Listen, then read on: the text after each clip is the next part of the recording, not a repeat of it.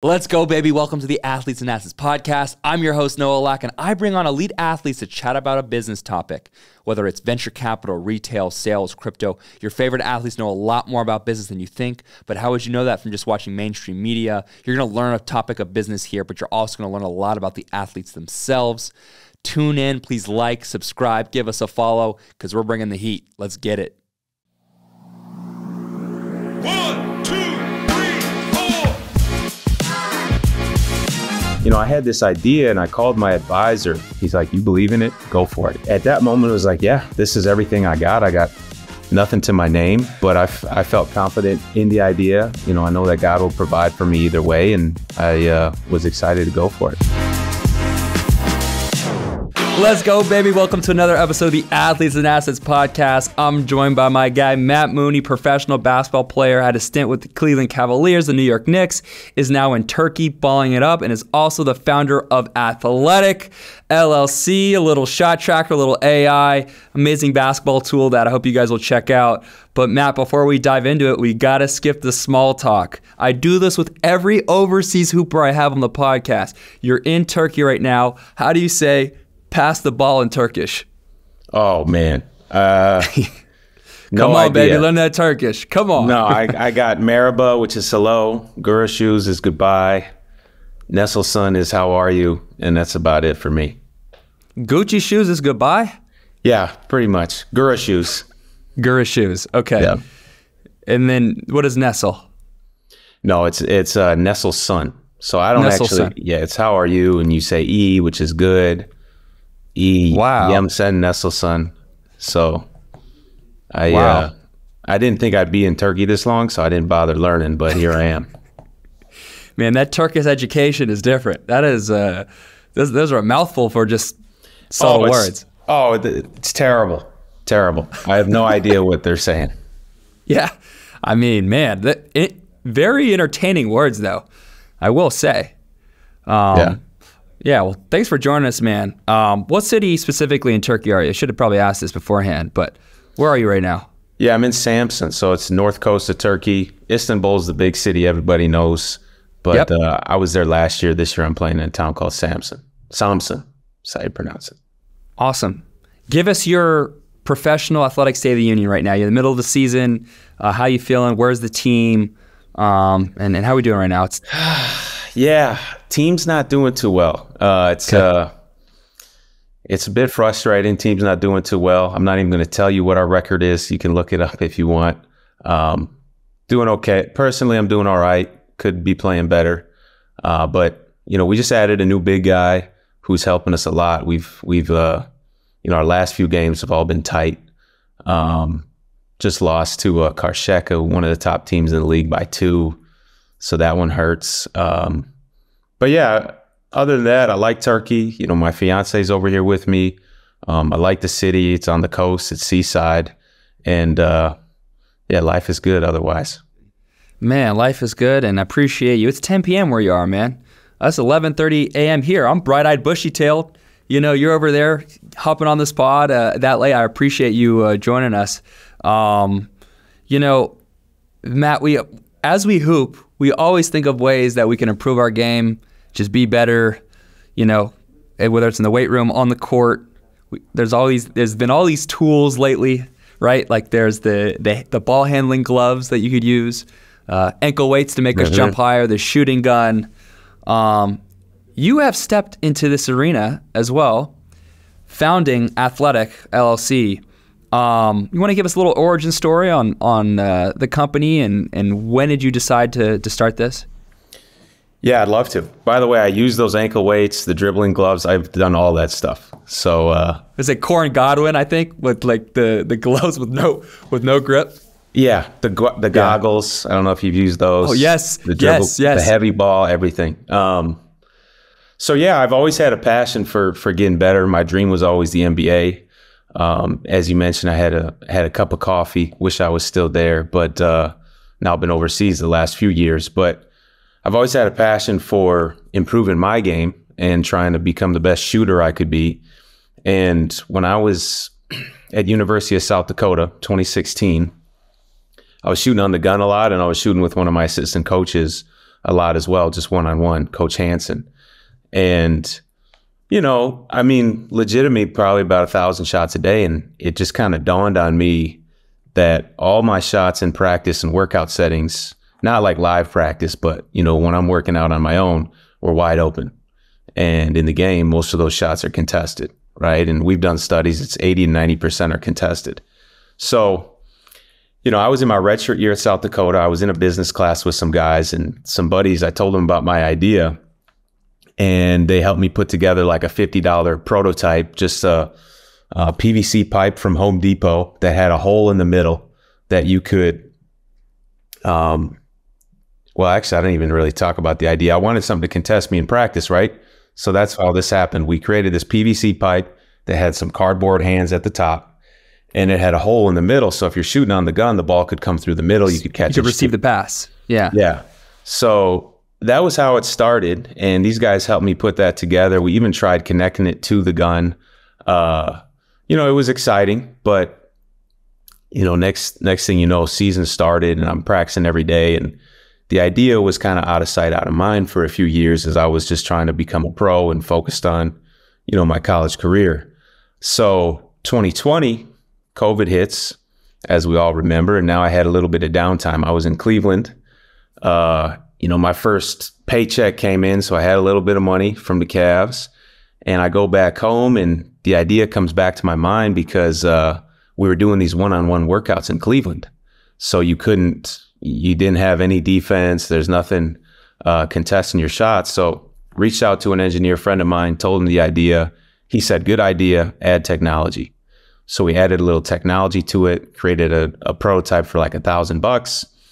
It had like a half circle. I mean, it looks ridiculous. I don't think it's in that origin video, but like a half circle with some sensors. The ball passed the sensors, triggered these arms to go up, contest your shot.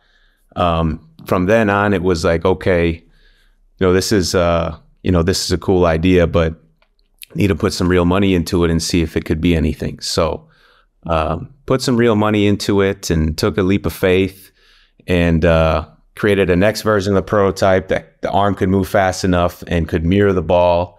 And now it's evolved into some that um, not only can test your shots, but is actually helping players through AI and uh, software that's helping players improve their shot too. Unreal. There's a lot of things in there I'd like to cover, but I need to start off, Matt, by saying here's my spicy take I tweeted a little a while ago.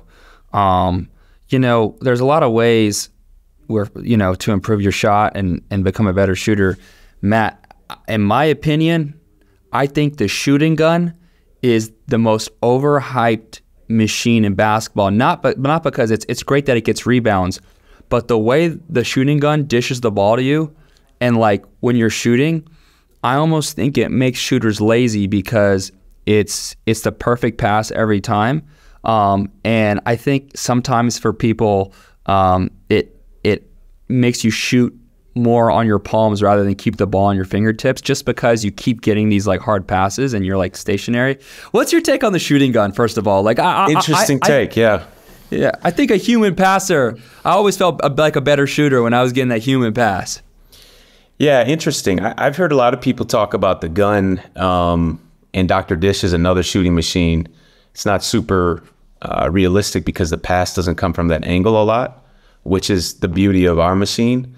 But I'll be honest, I love the gun. I mean, it, uh, and quite honestly, we're looking to potentially partner with with them or Dr. Dish because we're compatible with them. Um, so, but I do love the gun, and we talked to the founder of the gun, John Joseph, uh, a couple weeks ago. Oh, there you Um, go. Really impressive guy, but uh, um, where was I going? Yeah, where was I going with that? No, I just You're told. probably I, you were probably going to strike down that spicy take I just had. You probably just just strike that down. uh, No, no, I, I, uh, no, I think your take is valid to some degree because, uh, you know, the passes aren't going to be coming from there all the time. There's not a net in your way, this and that. Um, the passes aren't going to be perfect all the time. You're spot on. but maybe with the addition of AthletIQ, it changes it changes everything. It changes the the sort of the the, the necessity to be shot ready and be super focused uh, upon release because you're getting that contest. Yeah, that's what we want to do. Is we want to give players game reps, right? Um, you know, statistically speaking, uh, 80 to 90 percent of shots in games. If you look at um, any level, really, even you look at high school, college, NBA, 80 to 90 percent in games are contested. Practice, you're not shooting with the contest, so you know you get lazy. You can take your time on your shot. And then you look at the shooting percentages. Um, there was a study done in 2018 that on contested shots, and this is how they uh, identified contested and uncontested. But their study, when they identified contested shots, the average three point percentage in the NBA was 30%, roughly 30%, and uncontested open shots was 37%, roughly 37%. So you got a big jump, and as a as a hooper yourself, you know that's a huge jump in three point percentage. That goes from a good three point shooter to a pretty To money. bad shooter who you you just lay off them, right? So, um, you know, there's a big jump in contested and uncontested, and I think a part of the reason, a big part of the reason, is players don't practice that way. So, No doubt. No but I, doubt. but I do like the gun. I like the gun. It, it helped me get reps, and uh, I think that's what they do so well. They help players get reps. Okay, absolutely, absolutely. So, um, let's so like ground zero, um, you put fifty thousand dollars of your own money into this. Was that the oh shit? This is the real. This is a real thing moment. Yes, because at that time, I mean, people think, oh, you played in the NBA, you're rich. It was, I was on a two way contract, um, you know, and I got signed in January and COVID happened in March, season ended, right? So I only got a couple games in with the Cavs. And, and as a two way at that time, you get paid for every day you're up with the NBA team. Um, and you get paid well, but you get paid, uh, at that time, it was five grand for every day you're up with the NBA team. So, uh, anyways, I'm going into two. Sometimes I ramble, man. So, I mean, that's I didn't know that. That's pretty cool. Yeah, so just a little background there. So, you know, I was up with the Cavs for two months, played a few games, but, uh, you know, I had this idea and I called my advisor, my financial advisor, great guy uh, from Lubbock. And I just told him, hey, I got this idea. I believe in it. You know, I'm taking pretty much all my money away from you at this time because it was my rookie year. And I said, uh, you know, what do you think? And obviously, he makes money as my advisor when I make money. And he told me, he's like, you believe in it? Go for it. And he told me he thought it was a great idea. So uh, at that moment, it was like, yeah, this is everything I got. I got nothing to my name, but I, I felt confident, confident in the idea. I know that, uh, you know, I know that God will provide for me either way. And I uh, was excited to go for it. really cool part of the startup founder journey is the early recruitment process. Because, look, man, you're a great basketball player, a marketable guy, you know what you're doing. At the same time, you may, correct me if I'm wrong, you're not an engineer. You're not the one making the software together and, and packaging it and building the hardware. So, I'm sure along this journey, very early on, you had to recruit that first teammate to AthletIQ who was the technical piece of this who could help start building the infrastructure. Who was your first teammate? How did you convince them to join you? Yeah, yeah, great question. Because early on, I was, you know, trying to find people to invest in my idea, and they're like, you know, who's in this with you? And you know, this is a full time job, and you're playing professional basketball. So Right.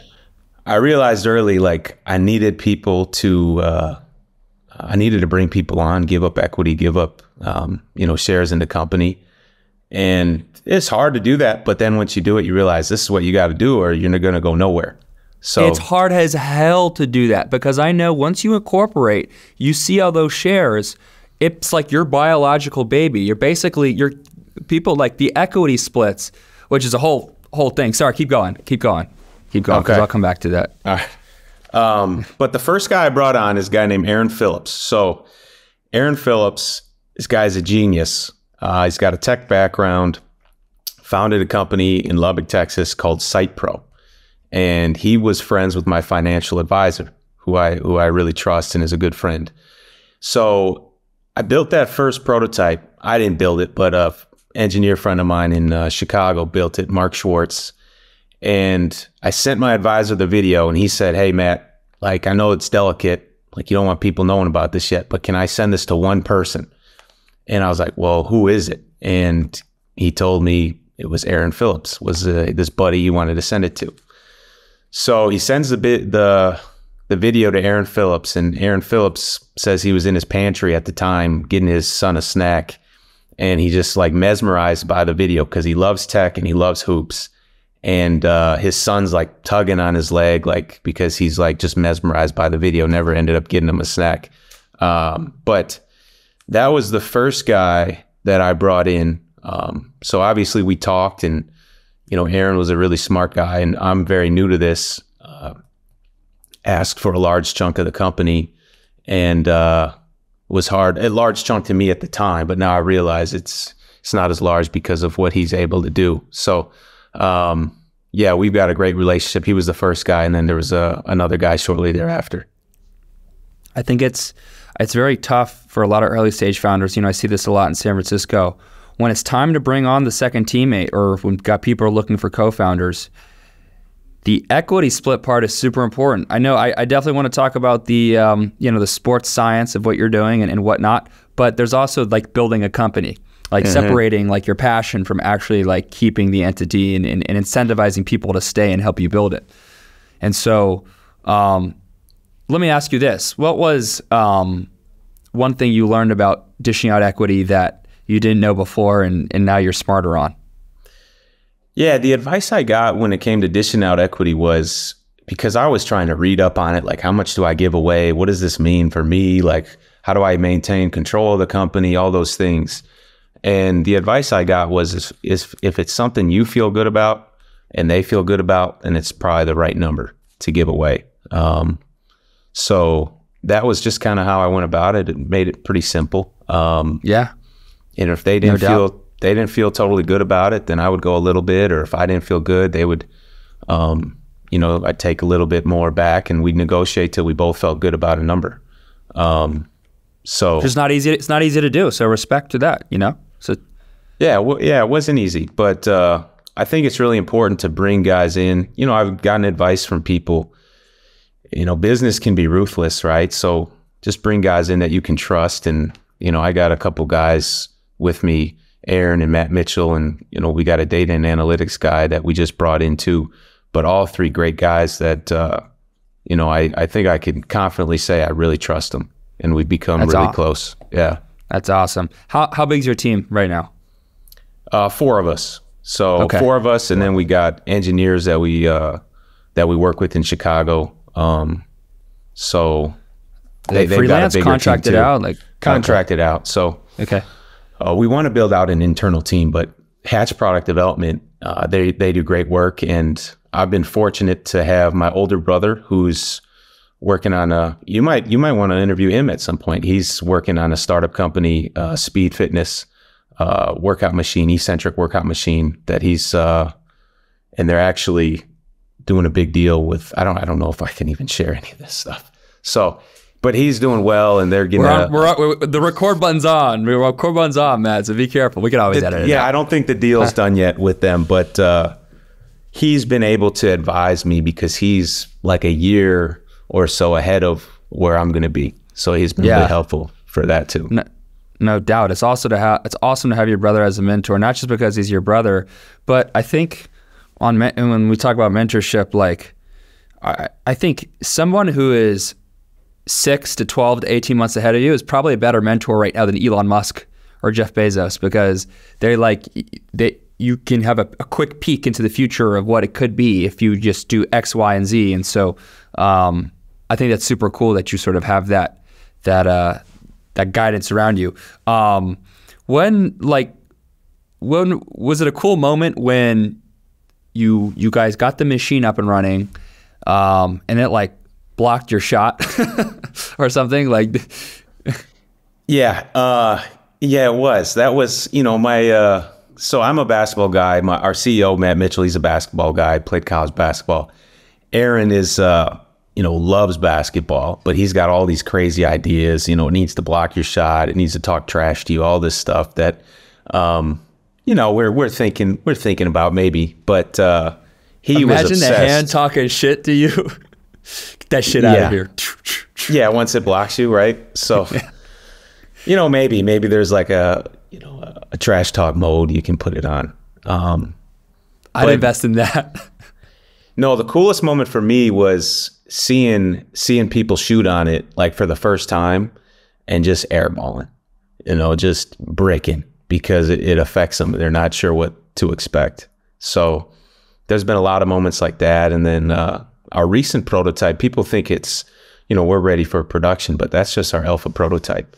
So um, we still got a little bit of time left before we, you know, we we're gonna make the betas and then probably from there be pretty close to production. But uh, no, that was just our first legit prototype. Um, but it works really well. And When- it looks when you- legit. when you brought your first couple prototypes and tested it amongst yourself, maybe your teammates, what was the biggest things you learned?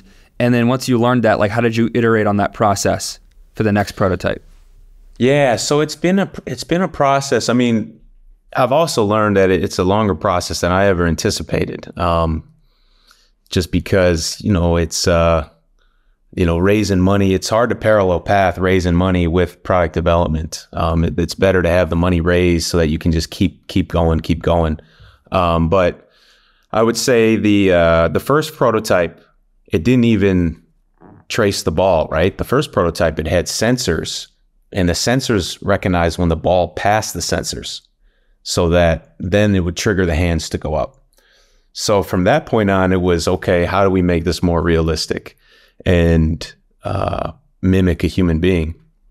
Which honestly, I didn't even really ever think was possible. And then I start thinking about it, asking my engineers, they say, yeah, for sure possible.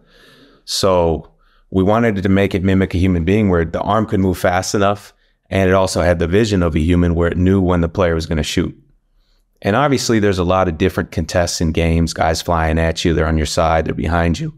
Uh, all that stuff we're going to be able to mimic as well. But the main one is to be able to know where the ball is and when the player goes to shoot, be able to contest it. Yeah. Um, and, and I think it's really important too to to highlight that we'll be able to speed up the uh, speed up the speed of the contest so that you know players can work on getting their shot off faster. So, uh, you know, like after that second prototype, so the first prototype, the sensors, second prototype, uh, it was able to move fast enough, but now we needed it to mirror the ball. And like when the player catches the ball, we don't want the arm to come out in the middle because you know it might be in their their vision to the rim. So just you know a bunch of little details to where no, we just wanted to go contest when they go to shoot. Uh, it's got to be fast enough.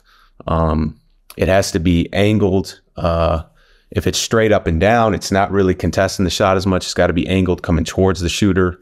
So we've had to tweak a lot of things, uh, but every prototype just gets better and better.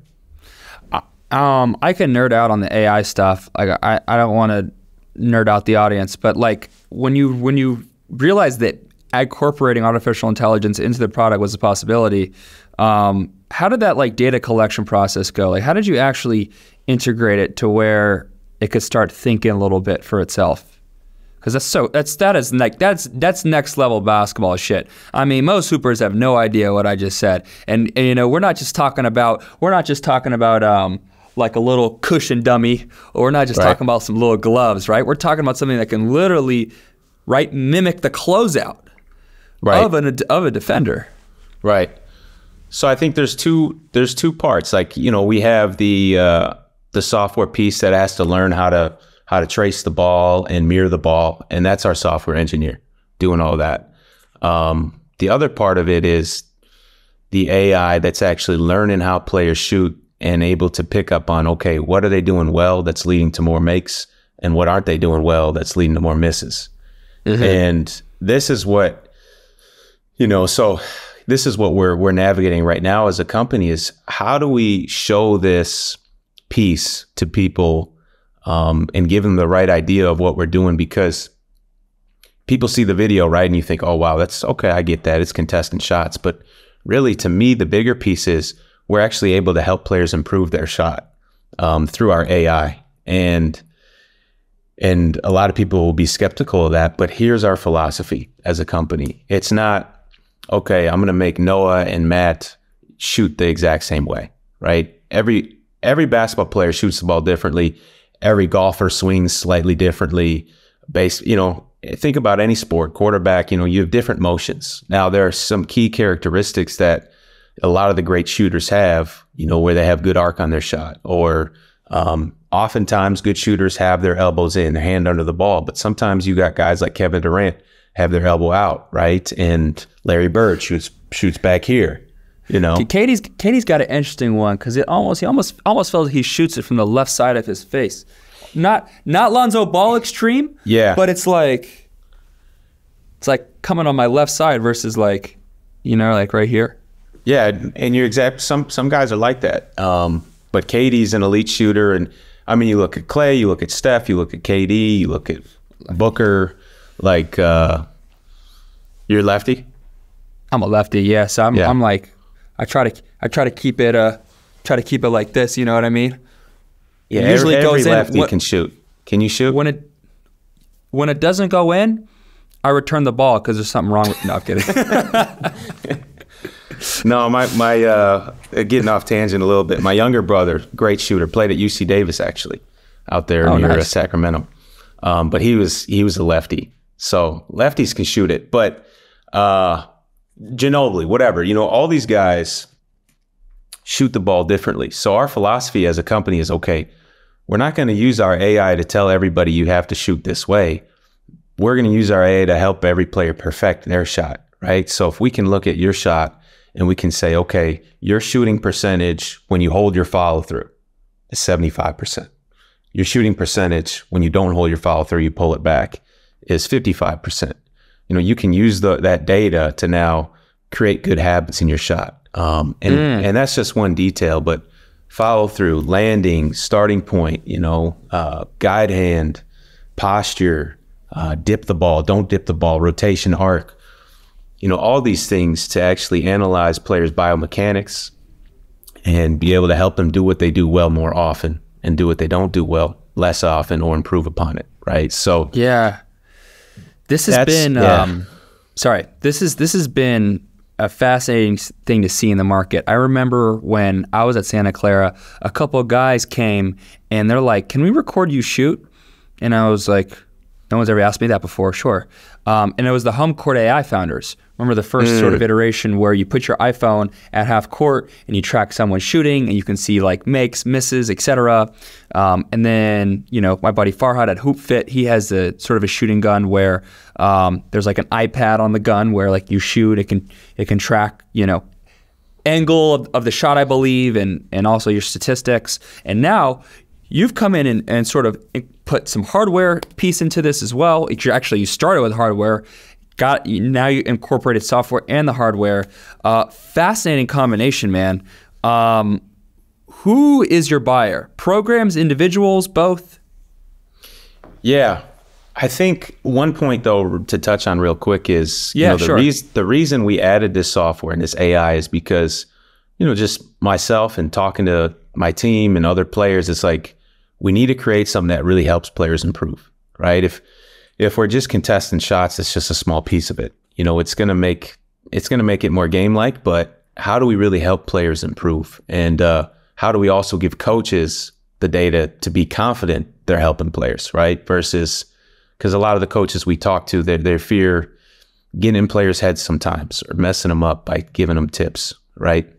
Um, but to answer your question, you know, our initial target market is teams, uh, but we, uh, you know, we'll definitely have, uh, we definitely have a market for dads. Um, we have a software that's going to be able to teach kids how to shoot, right? So dads who don't know how to teach kids how to shoot, we'll have a software included with our with our contest that can So- teach them how to shoot. So all of them. Yeah. Yeah, all of them. every dad. Except Mostly for- every yeah. dad. Yeah, every dad. except for pretty much. you know, except for the uh, the NBA coach who has a son who you know, I give my I'm giving dads a hard time, but dads dads know a lot. Think they know a lot more than they do. No, I, I was blessed. I had my dad taught me how to shoot, but sometimes you know, kids, you don't want to hear from your dad anymore, right? And uh, you know, they're in your ear every shot, right? So, uh, initially, teams, right, who can buy the subscription for their whole team for the whole program. Um, you know, they'll be able to. Coaches will be able to track all their guys. Guys can come in, put in their profile, um, track all their shots, get feedback on their shots, um, their their percentages, what they're doing well, what they're not doing well. Um, simplify it for each player, contest their shots, right? So, you know, it's uh, you know, we we want to be the future of shooting. Yeah, no doubt, man, no doubt. Um, and so you've you've raised a uh, you've taken investor money, outside capital to help build this. You kind of have to because not only the hardware, the software, uh, making sure you know your engineers can continue to produce sort of the best feedback loops process for basketball players. Um, as a founder, like as as someone, you're still playing basketball. You've raised capital.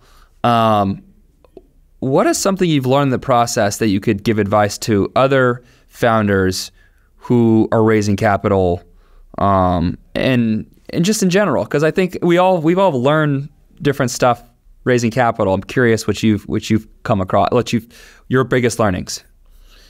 Yes, good question. Um, you know, I would say uh, I was a bit naive early on. You know, this is this is my idea. Uh, you know, I've got a lot of great feedback on it, but you know, at the end of the day, people are putting in their hard-earned money to it. They really got to believe in you as the founder. They got to believe in what you're doing and what you're building. So, um, you know, very very blessed to have, uh, you know, raised half a million and got people who have backed us, and we've gotten quite a few players that have backed us. We did a players only round, um, Oh. even with even with overseas guys, a couple of a couple NBA, um, but some G League overseas guys who might not usually be able to um, invest um, at uh, whatever a twenty five thousand minimum or something like that. We've let some of those guys get in, but uh, you know, I've I've learned that uh, fundraising is is really difficult, and my strategy early on was to go back to Lubbock, Texas, because my Texas Tech connections and playing there for a year, and we had a great year, um, made some great ties. Uh, but you know, I've I've learned that a lot of those those people there that that love me and support of me, like this might not be their typical investment, right? And uh, you know, I wish I would have gotten a little bit more creative with fundraising and bringing a guy in. So now we've got some guys helping us who have those networks and those connections. Um, but it's it's a lot harder than I thought, and you know, just to be be more prepared early on, um, just be more buttoned up, and you know, with the with our pitch deck and with our exit strategy, like all these things that investors want to know. So now we've got all that covered, and um, we're having some great conversations with people. No doubt, man. No doubt.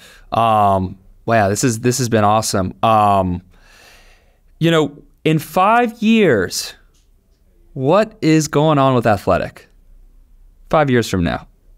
five years from now, we're in every gym across the country. Uh, you know, we had an investor say, you know, who owns the gym, right? Like, is there any company that owns the gym? And, you know, truthfully, there isn't. You got Noah and you got HomeCourt and you got The Gun and Dr. Dish and Shot Track. You got all these companies, um, but nobody owns the gym. And, you know, our goal is to own the gym. I think shooting is the future of basketball, right? You look at threes per game every year, it just keeps climbing, climbing, climbing, climbing, right? Everybody wants shooters. Everybody wants to improve on their shot. You know, shooting coaches are at a premium and there's a lot of bad ones out there. Um, but our technology, our AI, it's you know, enhances every coach's ability, every shooting coach's ability, gives players the data they need to know what they're doing well, what they're not doing well, and then it can test shots in real time. So, you know, it makes it game like. It's doing everything in one. And uh, you know, we want to be in every gym across the country and shoot 360 in colleges and high schools.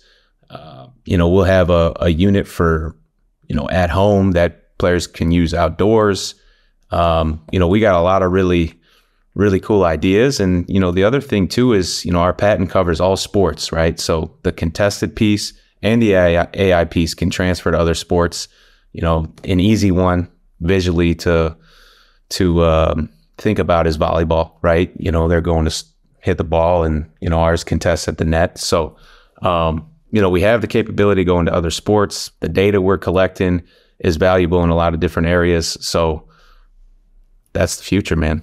Coming to coming to a gym near you, baby. Just be prepared for that hand to go just jump at you. Like, what the hell is that? Well, that's Matt's thing, and it's in it's it's uh, it's coming, it's coming. so, um, Matt, I really appreciate it, man. This has been a great episode with Matt Mooney, professional basketball player, founder of AthletIQ. Matt, best of luck, and uh, look forward to getting my shot right and not being so washed up anymore. Yeah, man. When uh, when we launch this, I want to send it to you, and uh, we'll do a little three point contest, me and you. Man, let's do it, man. And we got we got all the the peanut gallery of SF here. All the tech guys want to see that. Um, all the investors want to see that. So that'd be fun. We're gonna set it up. We can set it up. All right. Yeah, cool, I gotta man. get I gotta get my shot right. I gotta get my shot right.